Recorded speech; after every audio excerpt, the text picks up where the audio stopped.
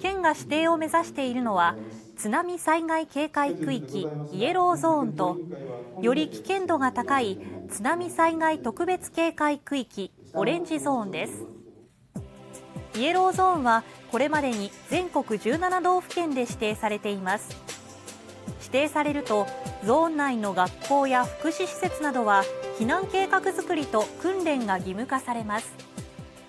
県が示した案によりますとイエローゾーンは浸水が想定されるすべての区域です。一方オレンジゾーンの指定はこれまでに静岡県の伊豆市のみとなっています。指定されると学校や福祉施設などを新設したり改築する場合構造や床面の高さなど開発に制限がかかります。オレンジゾーンは30センチ以上の津波が30分以内に到達するか基準水位が2メートル以上となる区域です。基準水位とは津波が建物に衝突した際の水位の上昇を考慮して算出されます。例えば県庁前から電車通り付近にあたる高知市本町の4丁目と5丁目の境付近では基準水位が1メートルから1.5メートルになります。